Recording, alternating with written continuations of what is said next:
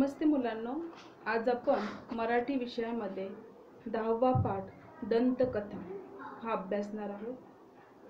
सर्वप्रथम आपण या पाठाचे लेखक आणि पाठाचा परिचय बघणार आहोत. लेखकाचा परिचय आहे वसंत सबनीस जन्म एकोणीसशे तेवीस ते दोन हजार दोन. सुप्रसिद्ध लेखक विनोदकार नाटककार सबनी सबनीसी यांनी लेखनास प्रारंभ केला तो कवितेने. नंतर ते विनोदी लेखनाकडे वळले. पानदान चिल्लर खुर्दा भारू मिरवणूक पतंग पंगत आमची मेली पुरुषांची जात. हे लेखन संग्रह खांदे पालट पकपखार आत्याबाईला आल्या मिशा थापड्या विनोदी द्वंद्वाशी बोका झाला संन्यासी हे कथासंग्रह सोबती हा व्यक्तिचित्र संग्रह. मा माहेश्वरी हा आत्मपर लेखाचा संग्रह प्रसिद्ध. विनोदी लेखनाबरोबरच त्यांनी अनेक नाटके एकांकिका व लोकनाट्ये लिहिली. त्यांची बरीच नाटके रंगभूमीवर गाजली. राजकीय भाष्य व चतुर संवाद यामुळे त्यांचे विच्छा माझी पुरी करा. हे लोकनाट्य विलक्षण लोकप्रिय झाले. प्रेक्षकांनी क्षमा करावी. चिलखत राजा जगन्नाथ हे त्यांचे एकांकिका संग्रह आणि बुदबुल्या हा बालकथा संग्रह प्रसिद्ध आहे. ह्या आपण लेखकाचा परिचय बघितला की त्यांनी कोणकोणते संग्रह काढले कोणकोणते लेख लिहिलेले आहे पुढे आहे ही जी दंतकथा आहे या कथेचा परिचय बघणार आहोत. दंतकथा हा एक विनोदी ललित लेख आहे. दातांचे दुखणे खूपच त्रासदायक असते. त्यामुळे कोणत्याही माणसाची अवस्था अगदी केविलवाणी होते. मात्र अशा गंभीर विषयातील प्रसंग लेखकाने नर्म विनोदी शैलीत मार्मिकपणे टिपले आहे. दातांच्या दुखण्याची असहाय्यता त्या प्रसंगी माणसाची होणारी दयनीय अवस्था आणि त्यामधून घडणारा प्रसंगनिष्ठा विनोद वाचकाला खळखळून हसवतो. वास्तवाला जोडून येणारी अतिशयोक्ती कधी आढळणारी विसंगती तर कधी मराठीतील म्हणी. वाक्प्रचार आणि शाब्दिक कोट्या यांच्या लेखकाने विनोद निर्मितीसाठी कल्पकतेने केलेला वापर हा पाठातून अभ्यासता येईल. म्हणजे थोडक्यात आपल्याला कळलेलं आहे की वसंत सबनीस यांचा दंतकथा हे एक विनोदी अशी कथा. तर बघूयात दातांच्या दुखण्यामुळे खरोखर आपल्याला खूप असहाय्य वेदना होत असतात. परंतु या असहाय्य वेदनेतून कोणता विनोद या कथेमध्ये तयार झालेला आहे? त्यांनी चित्रित केलेला आहे. चला तर मग आपण या पाठापासून शिकूयात बघूयात. मी प्रथम या पाठाचं वाचन करते आणि तुम्हाला त्याच्यासोबतच समजावून सांगते आहे. सर्वांनी व्यवस्थित लक्ष द्यायचं आहे. मानवी देह पंचमहाभूतांचा बनलेला आहे. असे म्हणतात ज्या ज्ञानी मंडळींना मानवी देहात पंचमहाभूते दिसली त्यांना सहावे महाभूत कसे दिसले नाही याचे मला राहून राहून नवल वाटते. या सहाव्या महाभूताला सामान्यांच्या भाषेत दात असे म्हणतात. माझे दात माझ्या मते जे आहेत ही परमेश्वरांनी मारून ठेवलेली मेक आहे. मानवी देहाची सर्व रचना परिपूर्ण केल्यानंतर जवळजवळ सहा सात महिन्यांनी ही दाताची कल्पना परमेश्वराला सुचली असावी. नाहीतर इतर सर्व अवयव एकदम फुटत असतात. दातच तेवढे एखाद्या सभेच्या मुख्य पाहुण्यांसारखे मागून का यावेत? अतिशय इथूनच विनोदाला सुरुवात झालेली आहे की माणूस ज्यावेळेस जन्माला येतो त्यावेळेस हात पाय नाक डोळे छोटे छोटेसे सर्व त्या बाळाला येत असतात. फक्त येत नाहीत ते दात. तर दात हे त्याला पाच सहा महिन्यानंतर येतात. तर लेखकाने सांगितलंय की दात जसे काही प्रमुख पाहुण्यांसारखे मागून येतात. तुटलेले बोट पुन्हा उगवल्याचे माझ्या तरी पाहण्यात नाही. किंवा पहिले नकटे नाक गळून पडून त्या जागी नवे नाक आल्याचेही लेखकाने कधी ऐकलेले नाही आणि आपणही कधी ऐकले नाही. पण दात हा एकच अवयव असा आहे की जो दोनदा उगवतो. तेव्हा माणसाला शरण आणताना तृण धरायला अगदी चांगली जागा असावी म्हणून ही दाताची योजना झाली आहे. याबद्दल माझी तरी खात्री आहे. तसे दातांनी माणसाला काय दिले आहे? दुसरा कुठलाही अवयव उगवताना माणसाला त्रास होत नाही. पण दात हे त्रास दिल्याशिवाय उगवतच नाही. आपणही अनुभव घेतलेला आहे. ज्यावेळेस लहान असताना म्हणा किंवा आता दाताचं दुखणं ज्यावेळेस उद्भवतं त्यावेळेस आपल्याला अतोनात त्रास होतो. आणि लहान असताना ज्यावेळेस दात पडतात त्यावेळी त्यावेळेसही त्रास होतो. आणि परत दुसरा दात येताना सुद्धा आपल्याला खूप त्रास होतो. पण दात हे त्रास दिल्याशिवाय येत नाही. ते येताना ताप आणि गेल्यावर पश्चाताप होतो. खरं खरं आहे ज्यावेळेस दात येतात त्यावेळेस आपल्याला खूप त्रास होतो अगदी ताप होऊन जातो. आणि ते तुटला पडला तर पश्चाताप होतो. अरे आता आपण कसं दिसतोय? परत आपल्याला दात येणार नाही. असा एक पश्चाताप सुद्धा आपल्या मनात होत असतो. मला स्वतःला तर दातांबद्दल मुळीच प्रेम वाटत नाही. लेखक स्वतः सांगतात की दातांबद्दल त्यांना प्रेम नाही. कदाचित त्यांच्या जीवनात दातांबद्दलचे वाईट अनुभव त्यांना आले असतील. कारण लहानपणी मला दात येत असताना त्यांनी घरातल्या माणसांना रडवले होते म्हणे. अर्थात हे सर्वस्वी खरे असेलच असे नाही. त्यांच्याबरोबर मीही रडलो असलो पाहिजे. ज्यावेळेस लेखक लहान होते त्यावेळेस त्यांना दात येत होते. तर कदाचित लेखकांना खूप त्रास होत असेल की त्यांनी घरातले सगळेच माणसं त्रासून ठेवले होते रडवून ठेवले होते. तर लेखक म्हणतात फक्त तेच नाही तर मी सुद्धा रडलो असणार आहे. दात आल्यानंतरही मी दिसेल त्याला चावत असे अशी ही एक दंतकथा ऐकून अजूनही कित्येक नातेवाईक माझ्यापासून दूर पडतात. आपण बघतो कधी कधी लहान मुलांना पण चावण्याची सवय असते जेव्हा त्यांना नवीन नवीन दात येतात. किंवा खूप सा मोठ्या होऊपर्यंत शाळेतली मुलं जी ती एकमेकांना रागामध्ये चावतात म्हणजे आपला राग व्यक्त करत असतात. लेखक एका विनोदी भाग सांगतात की आणखी सुद्धा नातेवाईक त्यांच्यापासून लांब पडतात. कारण की ते लहान असताना खूप चावत होते. कारण चावण्याची ही हौस अनेकदा स्वतःचीच मनगटी चावून चावून भागली आहे. पण माझ्या दातांनी मला एवढा उपद्रव दिला आहे की मी त्या मानाने दुसऱ्यांना झालेला उपद्रव काहीच नाही. आणि म्हणूनच दाताबद्दल मला दातात धरता येईल एवढा सुद्धा आदर राहिलेला नाही. लेखकाने हा विनोद केलेला आहे की मला दातांबद्दल आदरच नाही आहे कारण की दात येताना त्रास झालेला आहे पडताना त्रास झालेला आहे. दातांमुळे मी इतरांना चावलेलं आहे. त्यामुळे लोक आणखीही माझ्यापासून दूर पळतात ते घाबरतात की आताही हा मनुष्य मला चावेल की काय? अशा प्रकारचा एक विनोद लेखकाने केलेला आहे की त्यामुळे मला दातांबद्दल थोडासुद्धा आदर नाही आहे माझ्याप्रमाणे मराठी भाषेलाही दातांबद्दल आदर नाही असंही मला नंतर आढळून आलं. कारण मराठी भाषेत अशी म्हण किंवा शब्दप्रयोग नाही ज्यात दातांबद्दल मंगल भावना व्यक्त झालेली आहे. ज्या म्हणी व शब्दप्रयोग दाताशी निगडीत आहेत त्या दारिद्र्य भिकारपण असभ्यता यांचे प्रत्यय घडवणारे आहे नाही म्हणायला प्रेमविवहल कवींनी प्रियसीच्या दातांना कुंदन काळ्यापर्यंत नेऊन पोहोचवले असेल तेवढाच अपवाद तरी पण केवळ प्रियसीच्या दातात जीव अडकवून तिच्या प्राप्तीसाठी झगडणाऱ्या प्रियकराचे उदाहरण माझ्या तरी ऐकिवात नाही. ते सांगतात की फक्त प्रेमामध्येच प्रियकर प्रियसीच्या दातांचं एक कुंदन काळ्यासारखे दात म्हणून वर्णन करतात. बाकी दातांचं त्यांना जास्त काही हे नाही आहे की कौतुक नाही आहे उलट ते म्हणतात की ज्या म्हणी व प्रयोगाप्रमाणे दातांशी निगडीत असतात दारिद्र्य भिकारपण असभ्यपणा निगडीत आहेत. त्या दारिद्र्य भिकारपण असभ्य यांचे प्रत्यंतर घडणारे आहे त्यामुळे दातांची मला अजिबात ओढ किंवा आदर नाही आहे झगडणाऱ्या प्रियकराचे उदाहरण माझ्या तरी ऐकण्यात नाही.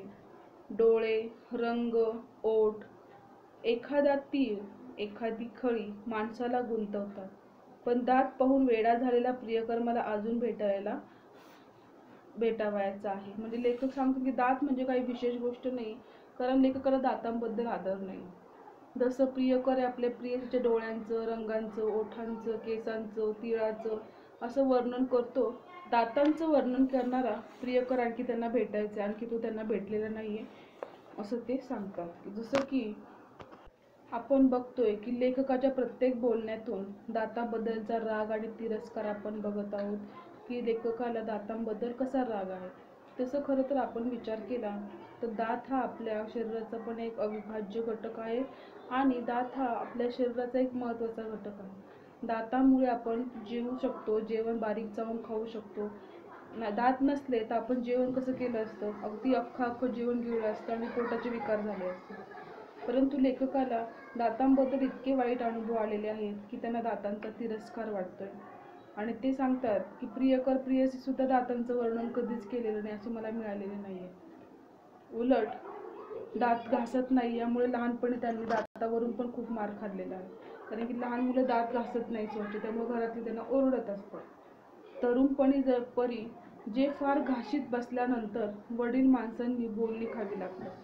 व्यवहारात जे कोण किंवा पडील पाडील याचा भरोसा नसतो. आणि जे दंतवैद्यांकडे जायला भाग पाडतात ते दात अशी माझी दातांबद्दलची कल्पना आहे.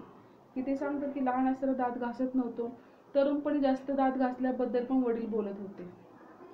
व्यवहारात जे कोण किंवा पाडल असं सांगते तुमचं म्हणतो ना आपण दात घशात घालतो. तसं जे दंतवैद्याकडे जायला भाग पाडतात. अशा प्रकारे ते म्हणतात की व्यवहारामध्ये बिझनेसमध्ये कोण कधी पाडेल आणि आपल्याला मग शेवटी दत्त वैद्याकडे डॉक्टरकडे जावं लागेल. अशी त्यांची दाताबद्दलची एक भ्रामक कल्प- कल्पना आपल्याला या पाठातून दिसून येत आहे. आता मनुष्य स्वभावाप्रमाणे मीही प्रथम दातांची पर्वा केली नाही. मी म्हणजे लेखक स्वतः हे सांगता आहेत दात दुखणाऱ्या माणसांची अवेलना केली. खरं तर तुम्ही कधी दात दुखण्याचा अनुभव घेतला असेल तर तुम्हाला कळत असेल किती महाभयंकर असं दातांचं दुखणं असतं. दातांच्या ज्या नसा असतात किडलेला दात असतो तो ज्यावेळेस थणकतो नस उघड्या होतात त्यावेळेस प्रचंड वेदना आपल्याला होत असतात.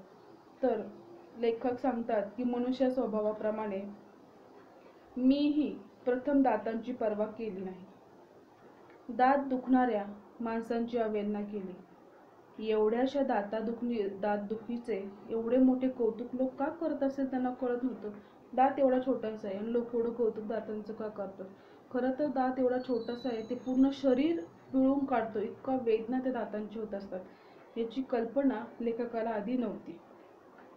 मग त्याला प्रश्न पडला लेखकाला की मग असं कौतुक लोक एवढ्याशा दातांचं दुखल्यामुळं का करतात? मग त्यांना पुढे अनुभव कदाचित आला असेल की आमच्या परशा पहिलवानासारखा मस्त गडीसुद्धा दातापुढे चारी मुंड्यात चित झालेला मी पाहिला. चारी मुंड्यात चित म्हणजे अगदी तो हैराण झालेला दातामुळे पहिलवानसुद्धा. तेव्हा मला दात दुखीचा जरा संशय आला. आणि त्यावेळेस लेखकाला कळलं की अरे हा तेवढा मोठा बलाढ्य पैलवान आहे. ह्याला ह्याने सुद्धा दात दुखतोय म्हणून हा पूर्ण चारी मुंड्यात चित झाला म्हणजे तो अगदी हैराण झालेला आहे. मग त्यांना संशय आला की हे दात दुखीचं दुखणं म्हणजे काहीतरी वेगळंच दिसतं परशा हा जन्मापासून पहिलवान. रानात अनेकदा लांडग्यांशी एकटा झुंजलेला. अनेक लांडग्यांनी लांडग्यांचे जे सुळे नुसत्या काठीच्या तडाख्याने पाडणारा हा गडी नेहमी अशा एटीत चालायचा की अनेकदा आधी त्याची छातीच दिसायची आणि अर्ध्या मिनिटाने त्याचा चेहरा दिसायचा. रस्त्यात भेटला की काय रे? कुठं निघालास? असा त्याच्या दृष्टीने अत्यंत प्रेमळ पण माझ्या दृष्टीने अतिशय उर्मट असा सवाल करायचा. मग त्याचा राग येत असे. चाललोय कुस्ती मारायला. येतोस? कुस्ती? असे म्हणून तो अत्यंत विकट हास्य करायचा आणि अर अगोदर माशी तर मारायला ना मार नाकावरती. मग कुस्तीचं बघू. असं म्हणून माझ्या खांद्यावर मोठ्या प्रेमाने दणका द्यायचा. पण गंमत अशी की दणका मला दिला तरी लागायला नाही लागायला जात नाही की त्याला ते उलट तो दणका त्यालाच लागायचा. लई हाडं आहेत तुझ्या अंगात. दगडावाणी लागतात हाताला असं त्याने म्हटले. की हाडांच्या बाबतीत का होईना पण आपण त्याच्यावर चढ आहोत याचाच आनंद अधिक वाटतो. मग आता लेखकाने आपल्याला याच्यामध्ये परशा ह्या जन्मापासून पैलवान असलेल्या एका व्यक्तीचं उदाहरण दिलेलं आहे. की तो एका वेळेस अं, तो पैलवानगिरीमध्ये एका वेळेस खूप साऱ्या लोकांना मारत होता. असं म्हणतात की ज्यावेळेस तो लांडग्याची शिकार करायला जात होता तर आपल्या लाकडाच्या किंवा हातातल्या काठीच्या फटक्याने तो लांडग्याचे सुळे दात पाडत होता. म्हणजे इतका त्याचा नेम आणि त्याचा ताकद होती की तो चालायचा त्या सगळं त्याला घाबरायचे. की जसं काय वनराजच आलेला आहे. वनराज म्हणजे आपण कोणाला म्हणतो? जंगलचा राजा सिंहाला म्हणतो. पण वाघाला म्हणतो जसं काय हा वाघच आलेला आहे असं त्याचं एक प्रकारची छाप दाखवलेली आहे. आणि इतका तो तब्येतीने चांगला होता पैलवान होता की आधी त्याची छाती येत होती पुढं आणि अर्ध्या मिनिटाने तो म्हणजे इतकी त्याची तब्येत होती. पण ज्यावेळेस तो रस्त्याने जात होता तस रस्त्यात भेटला की काय रे तू कुठंच निघालास? असा प्रश्न तो लेखक करत असे. अशा रस्त्यात विचारलेला प्रश्न उत्तर तो कधीही लेखक नीट देत नव्हता पण त्याला रागाने देत असे. चाललो कुस्ती मारायला.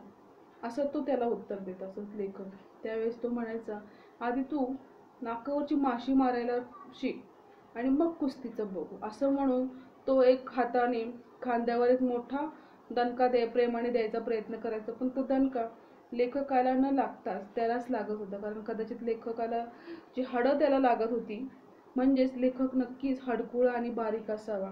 ते लेखकाला त्याचंही भूषण वाटत होते की बघा एवढा मोठा पैलवान. पण त्याने मला मारल्यानंतर मला तर नाही लागलं पण त्यालाच माझी हाडं लागली.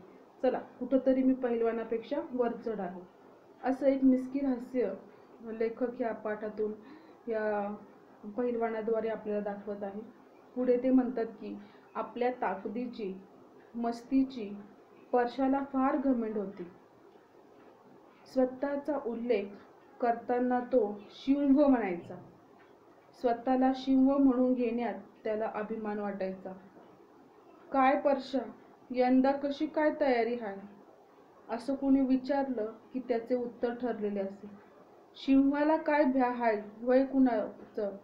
शिव मातीत उतरला की लांडगी कोली पाक पशात होत्यात. शिंहाला अल्ल्याड लई झोप लागली असं तो उत्तर जे विचारलं की यंदा काय आहे पैलवानकीचं तो तो असं उत्तर देत असे. अशा भाषेत तो नेहमी स्वतःबद्दल बोलायचा. काही काही लोकांना स्वतःच्या ताकदीचा स्वतःच्या तब्येतीचा कुणाला पैशांचा खूप जास्त गर्व असतो. तर अशा प्रकारे तो स्वतः इतरांशी बोलताना आपल्याला दिसून येतो.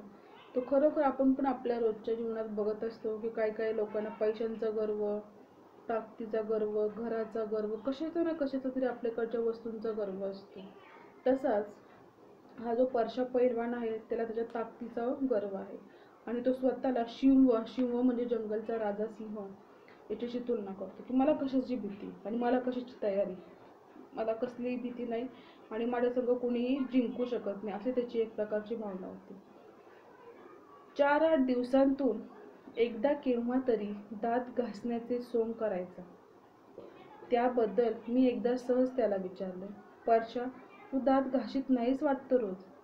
शिव काय दात घासतो वय कधी? असं त्याने ताडकन उत्तर दिलं. म्हणजे बघा तो जो पहिलवान आहे तो दात सुद्धा घासत नव्हता. कधीतरी चार आठ दिवसातून दात घासायचा. ज्यावेळेस त्याला हा प्रश्न करण्यात आला तो स्वतःला सिंह समजतोय. त्यामुळे उत्तर पण तो त्या स्टोऱ्यात देतो की सिंह कधी दात घासत नाही. मग मी कसं काय दात घासू?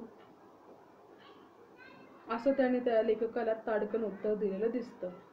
असा हा सिंहासारखा उग्र व बलदंड परशा एके दिवशी सपाटून मार खाल्लेल्या कुत्र्यासारखा समोरून येऊ येत होता. त्याची ऐट त्याचा दिमाग त्याची घमेण यांपैकी कशाचाही मागमूस त्याच्या चेहऱ्यावर दिसत नव्हता. कुस्तीत हरला तरी ते कधी असा दिसत नव्हता. जवळजवळ मी विचारलं काय पैलवाना काय झालं आज? केविलवाना चेहरा करून म्हणाला दात्र काल रातच्याला धरण असा ठणकतो या. काही एक सुचेन असं झालंय. बघा इतका मोठा पैलवान गडी की मैदानात विरोधी पक्षाला चित करणारा मारणारा. पण दाताच्या दुखण्याने त्याला काही सुचेना. तो अगदी दाताच्या ठणक्याने अगदी असह्य झालेला आहे त्रासून गेलेला आहे. सिंहाचे दात कधी दुखतात होय? मी जरा थट्टेने म्हणालो. कसला शिंव घेऊन बसलाय मर्दा? या दातानं शिंवाचा पार बकरा करून टाकलाय. असं म्हणून त्याने त्याच्या दातदुखीची दर्दभरी कहाणी मला सांगितली आणि अखेरीस म्हणाला अरे शिंवच नव नरसिंह आला तरी दातामोरं त्याचं काही एक चालत नाही. म्हणजे लेखकाला बघा आधी दाताबद्दल इतका तिरस्कार होता. परंतु पुढे चालून चालून त्यांनी बघितलेले प्रत्येकाचा अनुभव की दात हा माणसाला किती त्रासदायक आहे आणि किती मोठी गोष्ट आहे ज्यावेळेस दात दुखतो त्यावेळेस. तर इतका मोठा जो पहिलवान आहे त्याला सुद्धा दाताने हैराण केलेला आहे. तर तो स्वतः म्हणतो की मी सिंह कसला बाबा? दातापुढे तर नरसिंह सुद्धा हैराण होईल. इतकं भयंकर असं दाताचं दुखणं आहे. तर खरोखर आपल्या शरीरातला जो दात आहे हा जो अवयव आहे हा कधी दुखला? तो खूप भयंकर वे यातना होतात वेदना होतात आणि ह्या त्रासाने आपण अतिशय त्रासून जातो. हा अनुभव तुम्ही कधी घेतला असेल की नाही मला माहिती नाही. परंतु आपल्याला द सर्वांना दात आहेत. इन फ्युचर कधी ना कधी दात पडतात. लहान मुलं असतील तर त्यांची दात नवीन पडून येतात. हे सगळे अनुभव आपण स्वतः किंवा आपल्या आजूबाजूच्या लहान मुलांचे आपण घेतच असतो.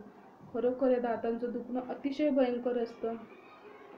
किती ताकदवर माणूस असू दे दाताच्या दुखण्याने तो नक्कीच हैराण होत असतो.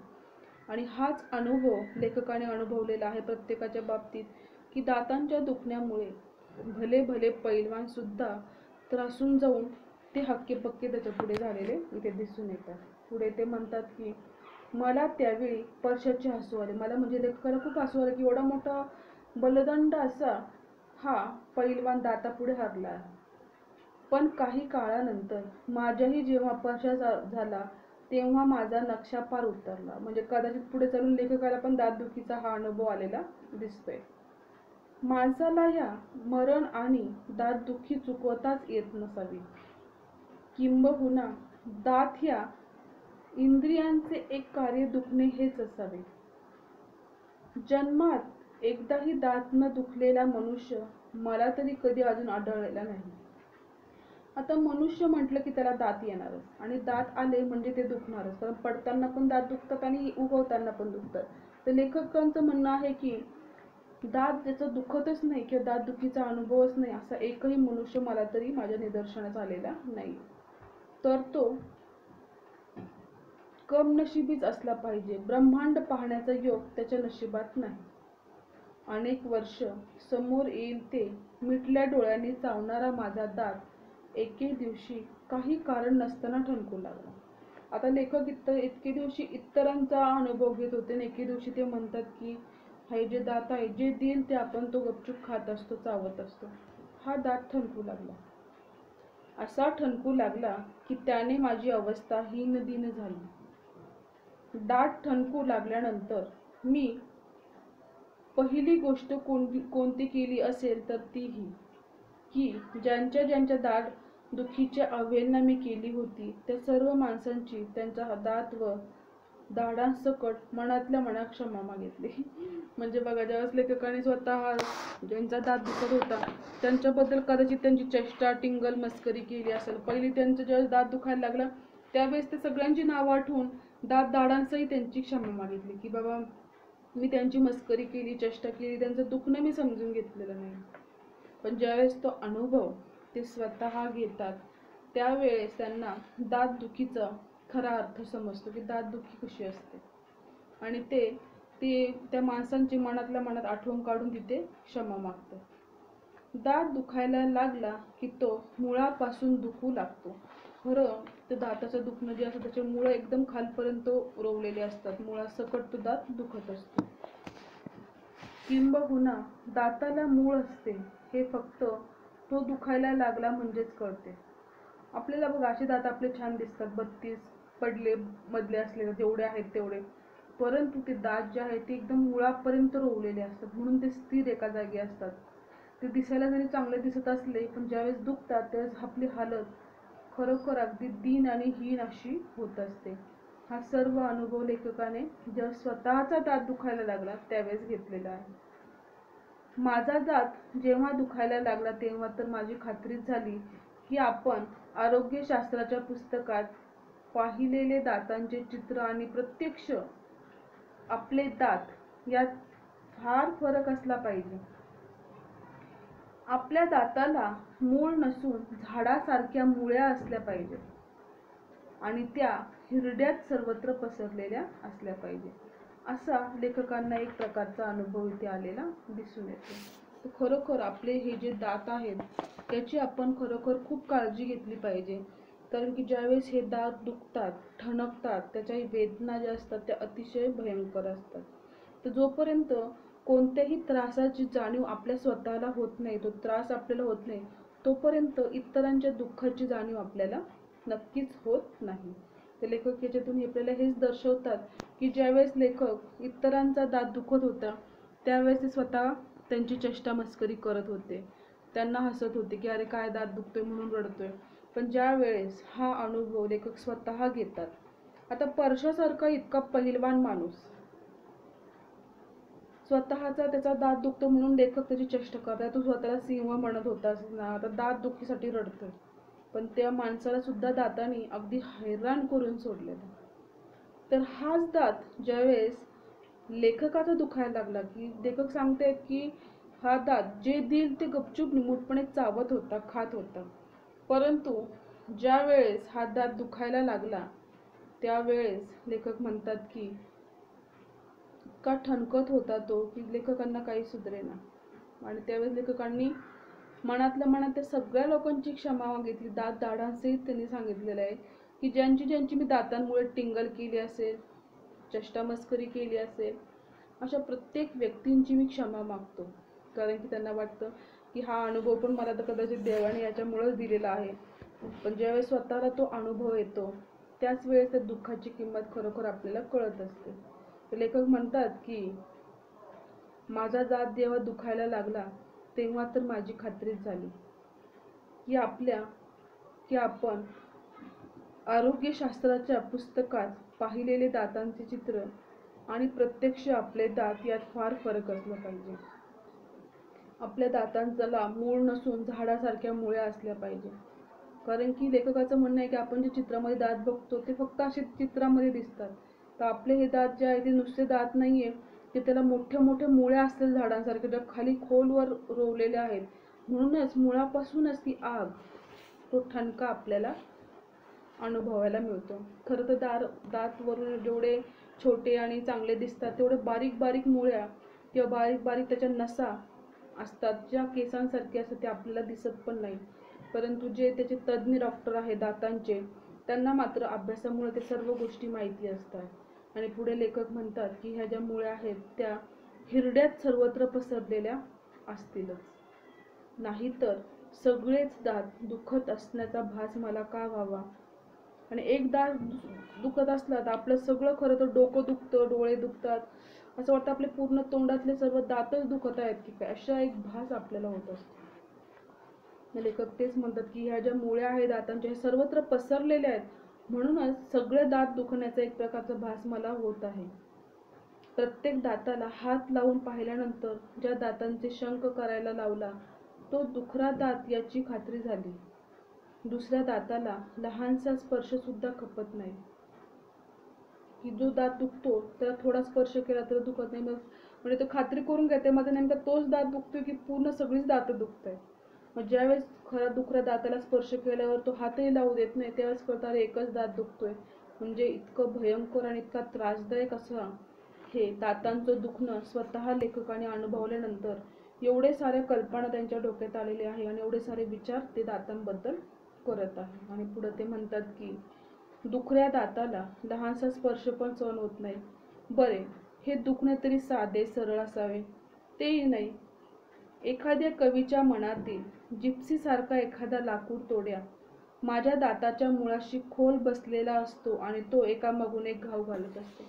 बघा लेखकाच्या मनात कोणती कल्पना आलेली आहे की जसं की कवीच्या मनामध्ये जिप्सीसारखी जी कविता आहे त्याच्यामधला जो लाकूड तोडे आहे तो जसं झाडाच्या मुळाशी घाव घालत असतो कुराडीचे तसे घाव घालत असलेच या एक वेदना एक त्रास मला त्या दातांच्या वेदनेतून होतो आणि ती कवितेतील तो लाकूड तोड्या किंवा दात तोडणारा जो जिप्सीमधला कवितेचा आहे तो त्यांना तिथे आठवत आहे. म्हणजे दातांचा आणि चोरांत साम्य असते ते याच बाबतीत दोघीही रात्री गडबड करतात.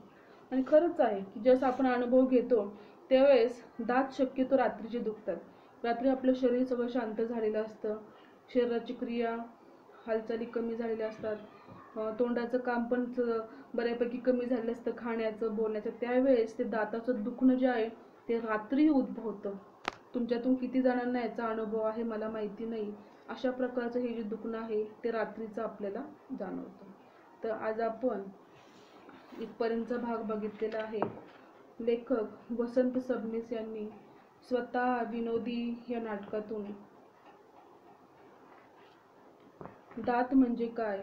किंवा दातांच्या त्रासामुळे काय काय त्रास होतो आणि सुरुवातीला दातांबद्दलची त्यांची काय कल्पना होती हे सगळं ह्या विनोदातून आपण पान क्रमांक पंचेचाळीसपर्यंतच्या अर्ध्या भागापर्यंत बघितलेला आहे. तेथून पुढे राहिलेला उर्वरित जो भाग आहे विनोदाचा पाठाचा हा आपण पुढील भागामध्ये अभ्यासणार आहोत. तोपर्यंत तुम्ही हा पाठ घरीसुद्धा व्यवस्थित वाचायचा आहे. नक्कीच हा तुम्हाला विनोदाच्या रूपामध्ये समजणार आहे. राहिलेला भाग आपण पुढील भागात बघूया. धन्यवाद.